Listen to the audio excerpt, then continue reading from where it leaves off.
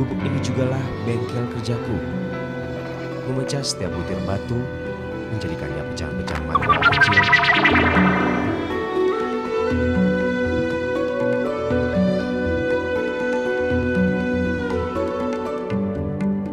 Sungai Praga memanjang membelah perbukitan. Sungguh kekayaan alam yang tak ada habisnya untuk dinikmati. Air beriak mengalun memercikan gelombang. Beningnya air menambah keelokan panorama. Sayang, aku tak bisa menikmati segala keindahan yang terpampang di depan mataku ini. Aku adalah Supardi. Gemericik air laksana alunan musik memanggilku untuk segera merasakan kesegarannya.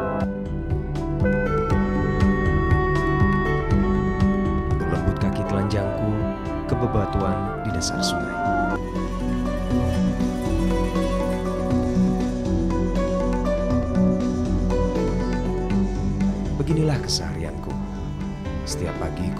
Gerobak kecil ini menuju tempat aku menggantungkan hidup. Kulangkahkan kakiku perlahan, namun pasti.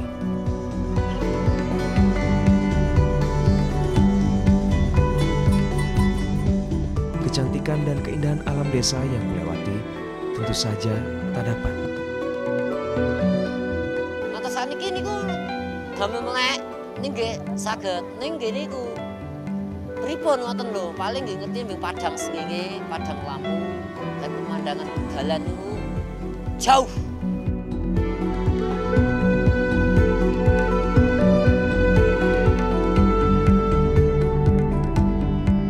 Namun bagiku, kebutaan bukanlah akhir dari segalanya. Ada keluarga yang harus kuhidupi.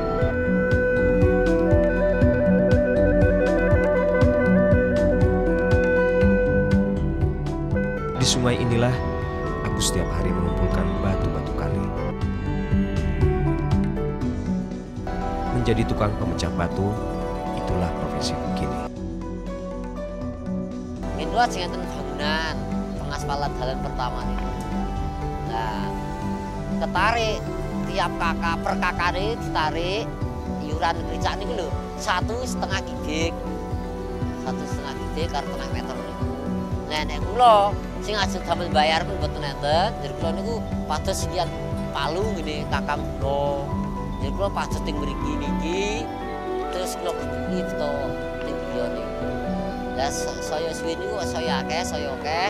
Terus enten tiyang tumbas, tumbas, tumbas, tumbas, di mriko-mriko ngoten niku.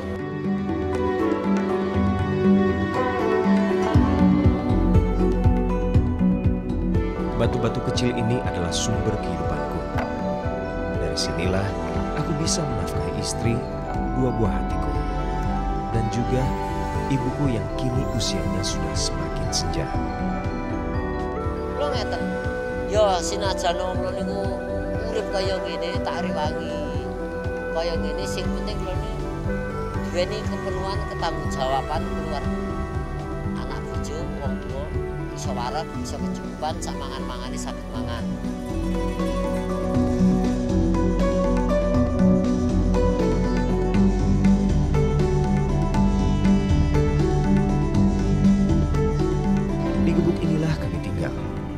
Tepatnya di Desa Ngerawan, Kecamatan Getasan, Kabupaten Semarang.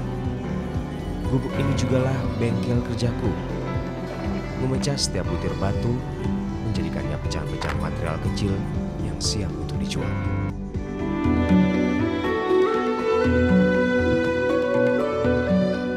Meski aku buta, tak pernah sekalipun beratnya palu ini melesat mengenai dan melukai tanganku.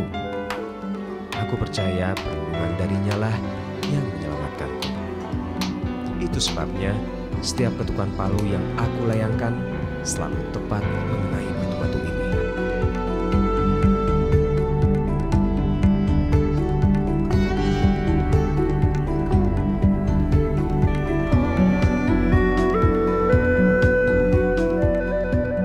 Penghasilanku dari memecah batu pun tak pernah pasti.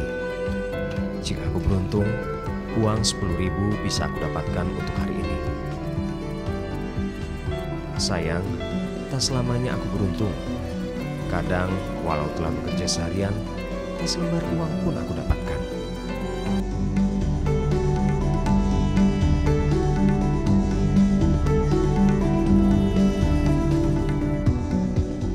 Hari ini, aku harus mengantarkan pesanan pecahan batu ini ke tempat tetangga yang kebetulan sedang berhenti.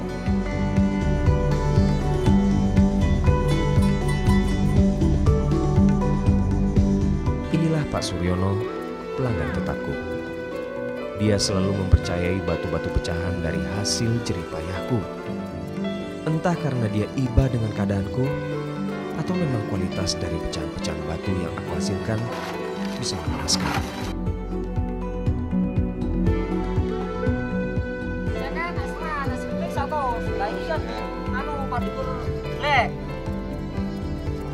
你的油，要要，你说可以跟他要，